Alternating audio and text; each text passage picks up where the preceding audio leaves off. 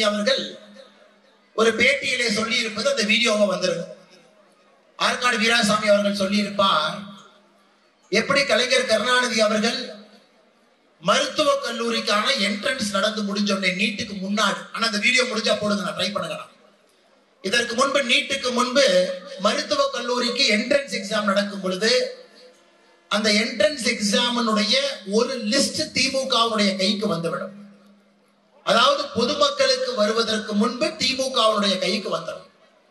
இவங்க என்ன பண்ணுவாங்கன்னா தனியார் மருத்துவக் கல்லூரிக்கு அந்த லிஸ்ட்டை கொடுத்துருவாங்க. தனியார் மருத்துவக் கல்லூரி அந்த லிஸ்ட்ல இருக்கவங்களுடைய பெயரை எல்லாம் பார்ப்பாங்க. யாருக்கெல்லாம் அரசு மருத்துவக் கல்லூரியில சீட்டு கிடைக்குமோ அந்த தம்பியோ தங்கச்சியோ கூப்பிட்டு தனியார் மருத்துவக் கல்லூரியில டோக்கன் போட்டு ஒரு சீட்டை கொடுத்துருவாங்க. கவுன்சிலிங்ல அரசு மருத்துவக் கல்லூரியில சீட்டு கிடைச்ச உடனே அவங்க அரசு மருத்துவக் கல்லூரிக்கு போயிருவாங்க. தனியார் மருத்துவக் கல்லூரியில போடப்பட்ட டோக்கன் ஃப்ரீ ஆயிடும் அந்த சீட்டை எந்த என்ட்ரன்ஸும் எழுதாத ஒரு குழந்தைக்கு மேனேஜ்மெண்ட் கோட்டால ஒன்றரை கோடி ரூபாய்க்கு வித்துருவாங்க. இதான் திமுகவுடைய விஞ்ஞான ஊழல் எதற்காக திமுக இன்னைக்கு நீட்டு பரீட்சை எதிர்க்கிறாங்கன்னா ஆற்காடு வீராசாமி அண்ணே அந்த யாரும் ஆபரேட் இருக்கீங்களே? கொஞ்சம் ட்ரை பண்ணுங்கண்ணே பிரபா அது எப்ப அது ரெடி ஆனாலும் ட்ரை பண்ணுங்க இது ஆற்காடு வீராசாமி அவர்கள் மிக தெளிவாக சொல்லியிருப்பார்கள். கலைஞர் என்கிட்ட சொல்லுவாரு அந்த மெரிட் லிஸ்ட் நான் எடுத்துக்குவேன். தனியார் மருத்துவக் கல்லூரி கொடுத்துருவேன். அவங்க அந்த சீட்டை பிளாக் பண்ணிடுவாங்க. அதன் பிறகு பிளாக் செய்யப்பட்டவர் அரசு மருத்துவக் கல்லூரியில சீட்டு கிடைத்தவுடன் இது லாக் ஆன சீட்டை அன்லாக் பண்ணி எந்த போட்டி பயிற்சிக்கும் வராத ஒரு குழந்தைக்கு ஒன்றரை கோடி ரூபாய்க்கு அந்த சீட்டை விட்டு விடுவார்கள் சகோதர சகோதரி. நீட்டு வருவதற்கு முன்பு இதுதான் திமுகவுடைய லட்சணம். ஆறு முறை திமுக தமிழகத்திலே ஆட்சியில் இருந்திருக்கின்றார். இப்ப ஆறாவது முறை ஆட்சியில் இருக்காங்க ஆறு முறை ஆட்சியில் இருந்து திமுக தமிழகத்திற்கு மொத்தமாக கொண்டு வந்த அரசு மருத்துவ கல்லூரி என்பது என் கையை பாருங்க. இவ்வளவுதான் அவங்க கொண்டு வந்த அரசு மருத்துவ கல்லூரி. ஐந்து. ஆறு முறை ஆட்சியில் இருந்து திமுக கொண்டு வந்தது ஐந்து அரசு மருத்துவ கல்லூரி.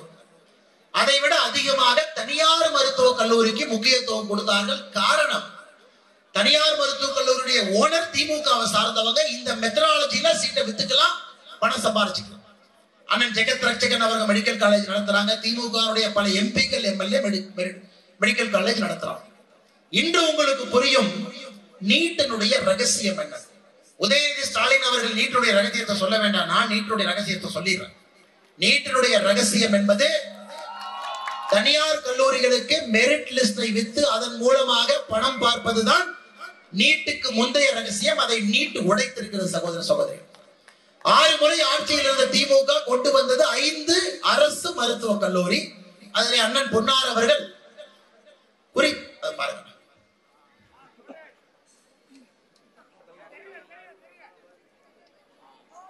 வீட்டிற்கு பல முறை வந்திருக்கிறார். அவர் மருத்துவக் கல்லூரி நடத்துகின்ற காரணத்தால் எம்ஏஎம் வீட்டிற்கு போவேன். எம்ஏ என்னிடத்தில் அன்புள்ளவர் நான் அமைச்சராக இருக்கின்ற காலம் இருந்த நேரத்தில் வீட்டிற்கு பல முறை வந்திருக்கிறார். அவர் மருத்துவக் கல்லூரி நடத்துகின்ற காரணத்தால் நான் மருத்துவ துறையிலேயும் அமைச்சராக இருந்த ஹெல்த் மினிஸ்டராக இருந்த காரணத்தினால் நாங்கள் முதன்நிலை ஒரு பட்டியல் வெளியிடுவோம். அந்த பட்டியல் வெளியிட்டு அதனுடைய நகல் அவருக்கு வேண்டும் என்று கேட்பார். ஏன் என்று கேட்பேன். நாங்கள் தேர்ந்தெடுக்கும் போது இந்த பட்டியலில் இருக்கின்றவர்கள் எல்லாம் தேர்ந்தெடுத்து விட்டால் அவர்கள் அரசாங்கத்திற்கு எப்படியும் போய்விடுவார்கள். அந்த இடங்களை எல்லாம் பிறகு நாங்கள் நிரப்பிக் கொள்வோம். ஆகவே எங்களுக்கு அந்த காப்பி வேண்டும் என்று கேட்பார். அதை அவர் கொடுத்து அவரிடத்துல நிறைய தொடர்பு இருந்த காரணத்தினால் அவரிடத்துல முதலிலே போய் கேட்பேன். என்றால் அவருக்கு ஒரு கோடி ரெண்டு கோடி என்பது ரொம்ப சாதாரணம். நான் போய் வற்புறுத்தி கேட்டால் வேறு வழி இல்லாமல் குறைந்தது ஒரு ஐந்து கோடி ரூபாய்.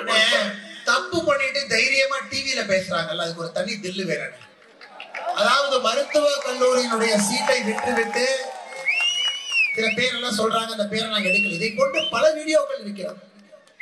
எவ்வளவு பொய்களை சொல்லி பித்தலாட்டம் செய்து தமிழகத்திலே நீட்டு வருவதற்கு முன்பு இதுதான் என் டிராமா இதுதான் டிராமா இதான் நீட்டு டிராமா அதை உடைத்து இன்னைக்கு நீட்டு பரீட்சை வந்து முதன் முதலாக மெரிட் என்கின்ற போர்வையில ஆயிரக்கணக்கான குழந்தைகள் முதல் தலைமுறை குழந்தைகள் ஆயிரக்கணக்கானவர்கள் அரசு மருத்துவக் கல்லூரிக்கு போறாங்க.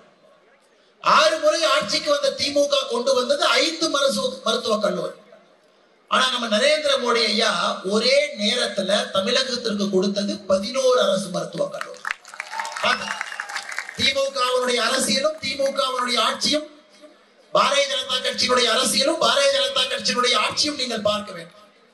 கன்னியாகுமரியில் ஆசாரி பள்ளத்தில் இருக்கக்கூடிய அரசு மருத்துவக் கல்லூரியும் கூட அண்ணன் பொன்னார் அவர்கள் கன்னியாகுமரிக்கு கொண்டு வந்து அந்த அரசு மருத்துவக் கல்லூரி சகோதர சகோதரர் இன்னைக்கு பாருங்க முதல் தலைமுறை குழந்தைகள் அப்பா அம்மா படிக்கல குழந்தைகள் படித்திருக்கின்றார்கள்.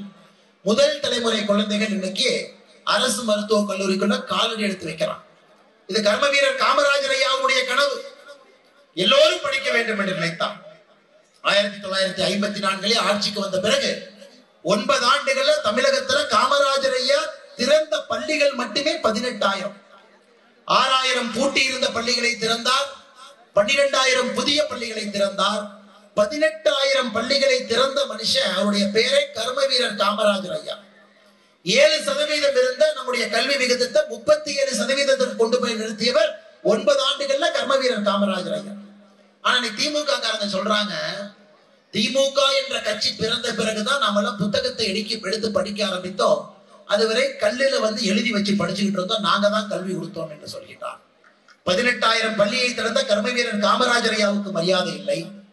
தமிழகத்திலே சுயமாக படித்து வளர்ந்து முன்னேறி கொண்டிருக்கக்கூடிய சமுதாயத்திற்கு மரியாதை இல்லை. அனைத்தையும் திராவிட மாடல் அரசு நாங்கள் இந்த கட்சியை ஆரம்பித்த பிறகுதான் தமிழகமே வளர்ச்சி கண்டிருக்கிறது என்று சொல்வது உலகத்திலே இதை போன்ற பொய்யை யாரும் சொல்வதற்கு வாய்ப்பு இல்லை. அதனால் சகோதர சகோதரிகளே நீட் என்பது இன்னும் ஆயிரம் ஆண்டுகளுக்கு தமிழகத்துல இருக்கத்தான் போகிறது. இன்னும் ஆயிரம் ஆயிரம் குழந்தைகள் நீட்டு மூலமாக முதல் தலைமுறை குழந்தைகள் நீட்டு மூலமாக அரசு மருத்துவக் கல்லூரிக்கு செல்லத்தான் போகின்றார்கள். திமுகவுடைய பித்தலாட்டம் நீட்டை தடுத்து நிறுத்த முடியாது. திமுகவுடைய பித்தலாட்டம் முதல் தலைமுறை குழந்தைகள் தன்னந்தனியாக சுயமாக அரசு மருத்துவக் கல்லூரிக்கு சென்று படித்து மருத்துவராவதை அவர்களால் தடுக்க முடியாது. அடுத்து இன்னொரு வீடியோ அதையும் பாருங்க. உங்க அமைச்சர் என்ன பண்ணிட்டு இருக்காரு? உங்க அமைச்சரை பத்தி பார்ப்போம்.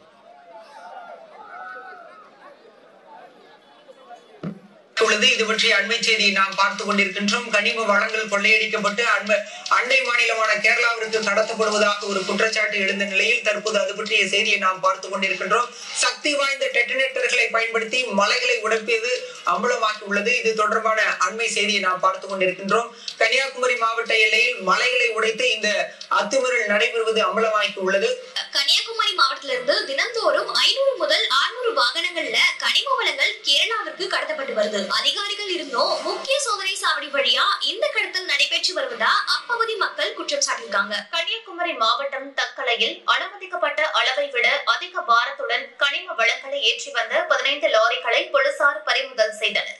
கன்னியாகுமரி மாவட்டத்தில் இருந்து மணல் கருங்கல் ஜல்லி போன்ற கனிமவள பொருட்கள் கேரளாவிற்கு அதிக அளவில் கடத்தப்பட்டு வருகின்றன. கன்னியாகுமரி மாவட்டம் தாமிரபரணி ஆற்றுப்படுகையில் செங்கல் சூளைகள் பெயரில் இரவு பகல் பாராமல் மணல் கொள்ளை நடைபெற்று வருவதாக குற்றச்சாட்டு எழுந்துள்ளது. கன்னியாகுமரி மாவட்டத்திலிருந்து தினந்தோறும் நூற்றுக்கணக்கான லாரிகளில் கனிம வளங்கள் கேரளாவுக்கு கடத்தப்படுவதாக பொதுமக்கள் புகார் எழுப்புகின்றனர். சோதனை சாவடிகளிலும் லாரிகளை கண்டுகொள்ளாமல் இருப்பதால் ஆளுங்கட்சியின் முக்கிய பிரமுகர்கள் துணையோடுதான் இந்த கடத்தல் நடைபெறுகிறதா எனவும் அவர்கள் சந்தேகத்தை கிளப்பியுள்ளனர். கன்னியாகுமரி மாவட்டம் வழியாக கேரளாவிற்கு அதிக பாரத்துடன் கனிம வளங்களை ஏற்றி சென்ற கேரள மற்றும் கர்நாடக பதவி கொண்ட லாரிகள் பறிமுதல் செய்யப்பட்டுள்ளது.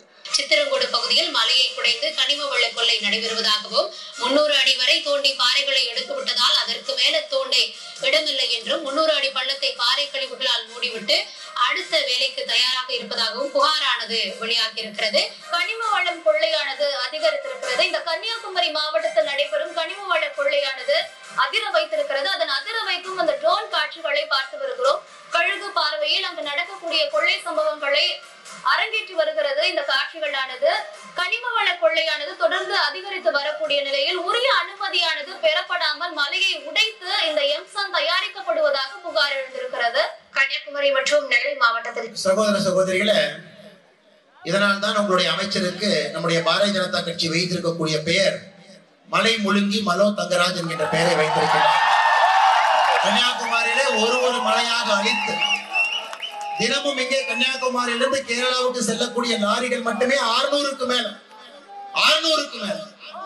நம்முடைய கனிம வளங்களை கொத்து கொத்தாக எடுத்து இங்கிருந்து கேரளாவுக்கு அனுப்பி வைக்கின்றார்கள். பதிலுக்கு கேரளா என்ன கொடுக்குதுன்னா கேரளாவுடைய மருத்துவ கழிவு கொட்டுவதற்கு ஒரு இடமாக கன்னியாகுமரி மாறிக்கொண்டிருக்கிறது. கேரளாவுடைய மருத்துவ கழிவுகள் கன்னியாகுமரியில கொட்டப்படுகிறது. ஆறுநூறுக்கு மேற்பட்ட லாரியில இங்கிருந்து கனிம வளங்கள் லோடு லோடாக போகுது சகோதர சகோதரி. ஜூலை இருபத்தி மூன்றாம் தேதி நீங்கள் எல்லாம் கொதித்து ஆர்ப்பாட்டம் செய்த பிறகு திமுக அரசு ஒரு நாடகத்தை செய்தார். ஒரு அரசாணையை போட்டு கன்னியாகுமரியிலிருந்து இரு பத்து டயருக்கு மேல எந்த வண்டி இருக்கோ அதுல கனிம வளம் ஏற்றக்கூடாது என்கின்ற அரசாணை இருபத்தி எட்டு டன்னுக்கு மேல ஒரு லாரியில கனிம வளத்தை ஏற்றக்கூடாது என்கின்ற அரசாணை இது எப்படின்னா இவர்களாகவே குழந்தையை கிள்ளிவிட்டு தொட்டிலை ஆட்டுகின்ற கதையாக அரசாணையை போட்டவுடன் இமீடியட்டா ஒருத்தர் சென்னை உயர்நீதிமன்றத்திற்கு சென்று அரசாணையை ஸ்டே பண்ணிட்டான். உடனே அமைச்சரை கேட்ட என்ன சொல்றாரு? இல்ல இல்ல என் கடமையை நான் செஞ்சுட்டேன். கோர்ட்டு இந்த அரசாணையை ஸ்டே பண்ணிட்டாங்க. நான் நல்லவன் அப்படின்னு. அமைச்சர் மனோ தங்கராஜ் அவர்களே நீங்க உண்மையால் நல்லவன் போல் நடிக்கிறீங்கன்னு தெரியும். நீங்க ஒருவேளை நல்லவனாக இருந்தால் செந்தில் பாலாஜியை போன்ற ஊழல்வாதிகளுக்கெல்லாம் உச்ச நீதிமன்றத்திற்கு போகின்ற தமிழ்நாடு அரசு கன்னியாகுமரி அரசாணையை சென்னை உயர்நீதிமன்றத்தில் தடுத்து வைத்திருப்பதை எதிர்த்து எதற்காக உச்ச நீதிமன்றத்திற்கு செல்லவில்லை? செந்தில் பாலாஜிக்கு உச்ச நீதிமன்றத்தில் எத்தனை வழக்கறிஞர்? எட்டு லட்சம் பத்து லட்சம் பன்னெண்டு லட்சம் கொடுத்து இந்தியாவில் இருக்கக்கூடிய பெரிய பெரிய வழக்கறிஞர்களை உச்ச நீதிமன்றத்திற்கு கொண்டு வந்தீர்கள்.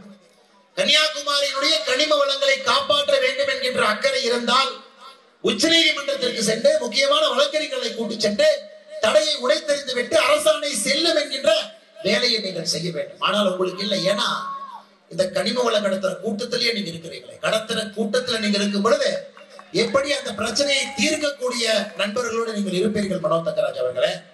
இதுல பாருங்க. நம்முடைய பாரத பிரதமர் அவர்கள் இருபத்தி மூன்று ஆண்டுகளாக இந்தியாவினுடைய முதலமைச்சராக பிரதமராக பதவியில் இருக்கார். பதினான்கு ஆண்டுகளாக குஜராத்தினுடைய முதலமைச்சராக ஒன்பது ஆண்டுகளாக இந்தியாவுடைய பிரதமராக இருபத்தி மூன்று ஆண்டுகள். ஒரு நாள் கூட விடுப்பெடுக்கவில்லை. ஒரு நாள் லீவ் எடுக்கலைங்க. தாயார் இறந்த பொழுது கூட மூன்று மணி நேரம் சென்று தன்னுடைய ஈம காரியத்தை மகனாக அந்த கடமையை செய்துவிட்டு இரண்டு மணி நேரத்திலே மத்திய அரசுடைய வேலைக்கு சென்று அமர்ந்தவர் நம்முடைய பிரதமர். ஆனா இங்க மனோ தங்கராஜ் அவர்கள் பிரதமரை பற்றி சமூக வலைதளத்துல பதிவு போடுறார். மூச்சு இருக்கான்னு கேட்கிறார் அதான் போன முறை கன்னியாகுமரி வந்த பொழுதே சொல்லிவிட்டு சென்றிருந்தேன். இன்னொரு முறை தைரியம் இருந்து அந்த பதிவு போடுங்க நானே நேர்ல வர்றேன். தொண்டர்களை எல்லாம் அனுப்ப போறதில்ல நானே நேர்ல வரேன் இன்னொரு முறை தைரியம் தைரியம் இருந்தா மூச்சு இருக்காங்கிற பதிவை நீங்க போடுங்க பாத்துக்கலாம் அந்த அளவுக்கு பிரதமர் யார் என்று தெரியாமல் என்ன செய்கின்றார் என்று தெரியாமல் திமுகவுக்கு முழு நேர கொத்தடிமை வேலை பார்க்கக்கூடிய மனோ தங்கராஜ் அவர்கள் பிரதமரை முகநூல் பதிவுல மூச்சிருக்கா என்கின்ற கேள்வியை கேட்கிறான் இன்னைக்கு நான் மனோ தங்கராஜ் கேட்கிறேன் உங்களுடைய முதலமைச்சர் அவர்கள் அபிஷியல் டியூட்டி டைம்லயே திரைப்படத்தை பார்த்து ரிவ்யூ எழுதுவார். இன்னைக்கு தமிழகத்துல திரைப்படை பார்த்து திரைப்படத்தை பார்த்து நல்லா ரிவ்யூ கொடுக்குற ஒரு நம்பர் ஒன் யாருன்னா ப்ளூ சட்டை மாறன் இல்லை. மு க ஸ்டாலின். ஒரு ஒரு படத்தை பார்த்து விட்டு அவருடைய ரிவ்யூவை பார்க்கணும். கடந்த எட்டு மாதத்துல மட்டுமே ஆறு படத்தை பார்த்து விட்டு ஆறு படத்திற்கும் ரிவ்யூ போட்டிருக்காங்க. அற்புதம் ஆனந்தம் இயக்கனை கட்டி தழுவி ஆற தழுவி முத்தமிட்டேன். இதெல்லாம் அவருடைய ரிவ்யூ இந்த படமெல்லாம் சாயந்தரம் அஞ்சு மணிக்கு ஆறு மணிக்கு பார்த்த படம். நீங்க தப்பா நினைச்சுக்காதீங்க. முதலமைச்சர் மு க ஸ்டாலின் அவர்கள் தமிழகத்துல நல்ல படத்தை ப்ரொமோட் பண்ணாரு நினைச்சுக்காதீங்க. அவர் பார்த்த அனைத்து படமுமே உதயநிதி ஸ்டாலின் அவர்கள் நடிகரா நடிச்சிருக்கணும். இல்லாட்டி உதயநிதி ஸ்டாலினுடைய ரெட் ஜெயிண்ட் கம்பெனி அந்த படத்தை தயாரிச்சிருக்காங்க அதாவது வெட்கமாக இல்லையா முதலமைச்சர் அவர்களே? உங்களுடைய மகனுடைய தயாரிப்பு நிறுவனம் தயாரிக்கக்கூடிய படத்தை தமிழகத்தினுடைய முதலமைச்சராக பிராண்ட் அம்பாசிடர் வேலையை பார்க்கறேன். பிராண்ட் அம்பாசிடர் இந்த நகைக்கடைக்கு நடிகர்கள் எல்லாம் வருவாங்கல்ல. இந்த நகையை வாங்க ஜொலிக்கும் இருபத்தி நாலு கேரட் பல பலன் இருக்கும். செய்கூலி இல்லை சேதாரம் இல்லை. அதுபோல் தன்னுடைய மகனுக்கு மு க ஸ்டாலின் அவர்கள் முழு நேர வேலையாக ப்ரொமோட் பண்ணிட்டார். இந்த கட்சியை சார்ந்த நீங்க எங்களுடைய பிரதமரை பார்த்து கேள்வி எழுப்புகின்றீர்கள். இந்த கலிகாலத்தில் அதெல்லாம் கேட்க வேண்டிய கட்டாயம் தமிழகத்திலே பாரதிய ஜனதா கட்சியினுடைய தொண்டர்களுக்கும் தேசபக்தர்களுக்கும் இங்கு இருக்கிற சகோதர சகோதரி